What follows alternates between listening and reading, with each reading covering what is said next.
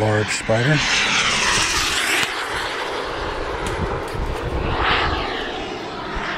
Large spider crawling on the cameraman's face.